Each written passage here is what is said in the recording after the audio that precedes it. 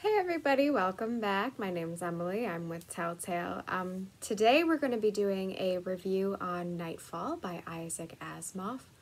Asimov, I think that's how you say it.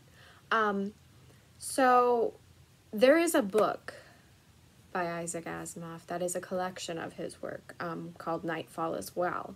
It is titled after the very uh, the very short story we're going to be talking about, but we do want to make sure that we clarify we are actually reviewing the short story, not the entire collected works in its, you know, in its realm.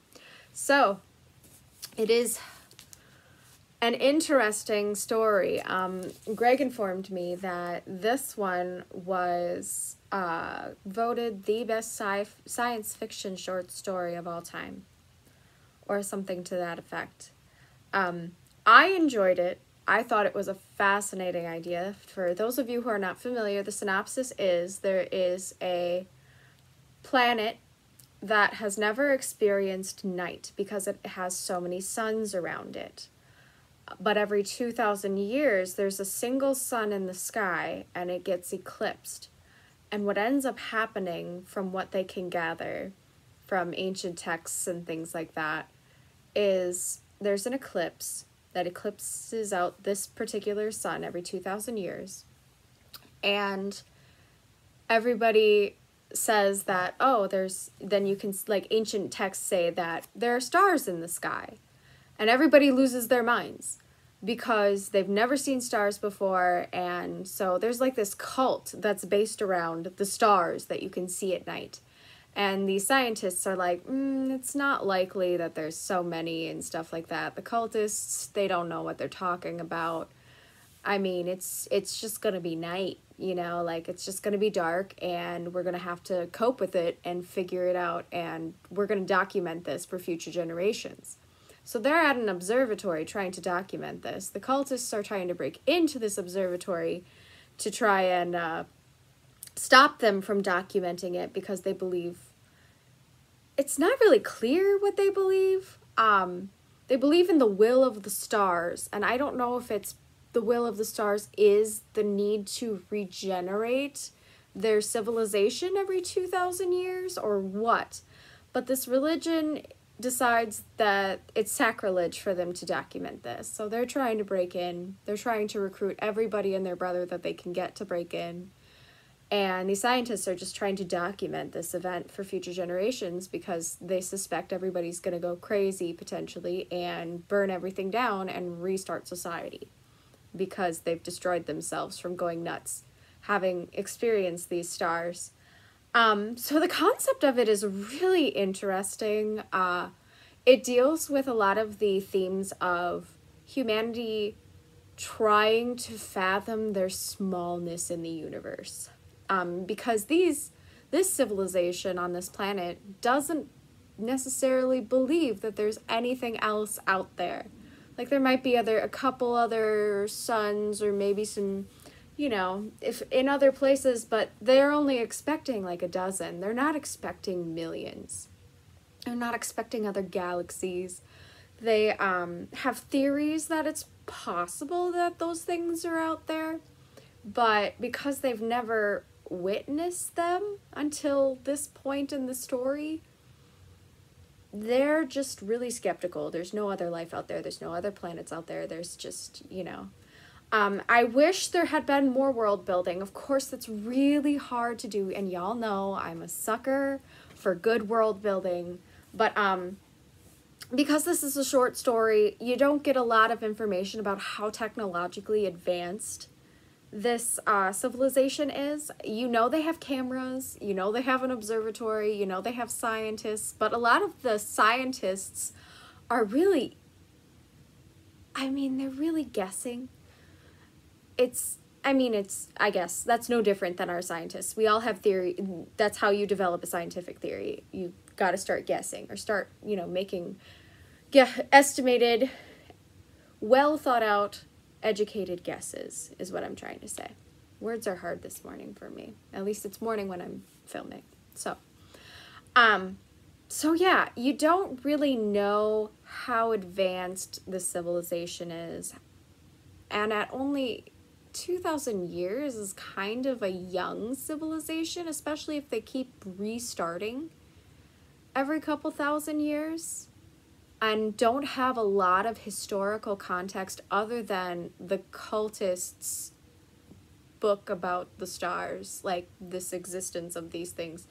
So they don't have a ton of ancient texts. They don't have a ton of archaeological finds um, anthropological finds. So they don't know for sure if this is actually what happens. It just happens to be in this ancient cult text. Um, and there's no evidence that they can find to really back it up. So everybody's just kind of they don't know what to think. Like they're all getting agitated as the lights going dimmer and dimmer and dimmer, but nobody's lost their minds yet. Um but yeah, there's just I have a lot more questions about this story. I really did enjoy it. It is a very well done piece. Um, I think for its time, it was very original. Nobody nobody was really writing this kind of thing. Um, so it's it's a really well done piece and I really enjoyed it. I highly recommend it. I can't wait to read the rest of the book actually because I'm not as familiar with Isaac Asimov's work. So I'm really excited to get through the rest of the uh, short stories in there. But um, yeah, it it was a really interesting read. But again, if you're a person who really likes world building, this might be a little disappointing. But the philosophies, the way that the social science and religion tend to interact is very interesting. Um, the war between them, of course, is something that's we understand in our common world today the separation of church and state especially in the United States, um, and the separation of science and religion has been a really, really big um, topic for a lot of people, and this addresses it to an extreme, uh, which is really, really interesting, of course. I think that's always a fascinating subject to try and delve into is how do science and religion interact in extreme situations. Um, so this was really interesting read for that reason.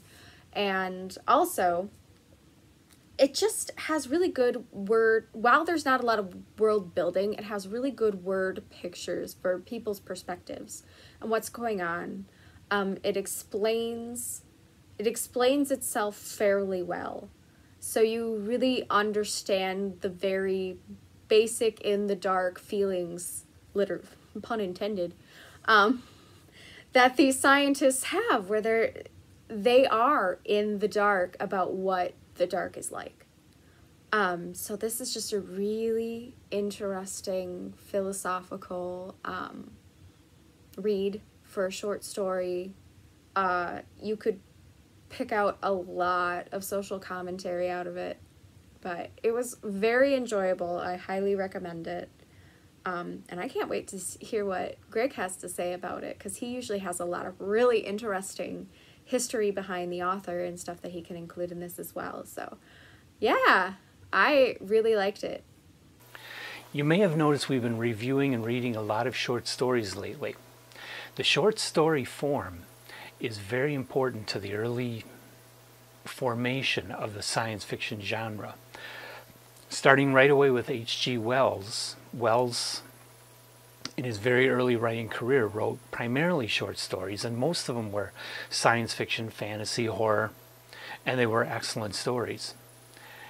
And when the science fiction magazines came along, the short story form became even more important, being primarily what was published. They usually would have a serialized novel split up over two, three, four issues, and then the rest of it would be short stories and novelettes, a, a format which continues in the science fiction magazines to this day.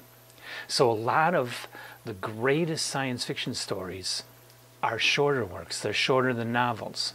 And a lot of the early novels, a lot of the great early novels, like the whole Foundation trilogy or the Martian Chronicles, are actually compilations of related short stories put together to make a novel when in the 1950s when science fiction was beginning to catch the attention of book publishers and, and started moving out of the magazines. So Isaac Asimov, of course, started out writing short stories. His first story was published when he was a teenager in 1939, Marooned Off Vesta. And only two years after that, he published Nightfall in 1941 in Astounding Stories. It was his first story to get a cover of a magazine. Nightfall made a huge impact to the point where in the late 1960s, the Science Fiction Writers of America voted it to be the greatest science fiction story ever. Emily kind of covered what Nightfall is about, so I'm going to skip the synopsis and go right into talking about how this story, on today's standards, really doesn't live up to being the greatest ever. There are greater stories, even looking back at the 1940s, 1950s. I'm sure everyone can find a story back then that they feel is a stronger story, even even a better science fiction story. Not to say that Nightfall isn't a really terrific story, really enjoyable to read. It is. It's one of my favorites. I've read it a number of times in in different books, uh, collections, anthologies. Um, my current collection, I've got it in the best of Isaac Asimov, and just reread it for the purpose of doing this review. And it's an excellent story. But what has always bothered me about Nightfall is that it feels too much like you take an Earth city and put it in this alien environment and then have this astronomical event happen and the people react to it. It's the people are too earth-like. The society is too earth-like. You have astronomical observatories and newspapermen writing stories for published newspapers. Way too Earth-like. We're talking about an alien world in an alien environment with completely alien night sky to anything we are familiar with. I feel Asimov should have done a lot more to think about how this civilization would develop, both cult culturally or, or all culturally, scientifically, and even biologically. How would they evolve on a world where nighttime never happens? They'd definitely be different from us. They would have totally different culture. I would think they would have a completely different biology because they would be functioning in a, a completely different environment and have different environmental needs. So that's the weakness of the story. The strength is the idea. The weakness is he just didn't go nearly far enough. He was way too, um, can't really say Anglo-centric, but because, you know, he's including all of Earth, but, you know, he, it, it felt way too much like a, a 1940s American city placed in this environment so for that reason, I can't really say that I think this is the greatest science fiction story of all time, but it did have a huge influence. Um, Asimov and Silverberg did expand this into a whole novel, which I have not yet read. Maybe they took it further in that book and imagined an alien world better. I don't, I don't know. I haven't read it yet.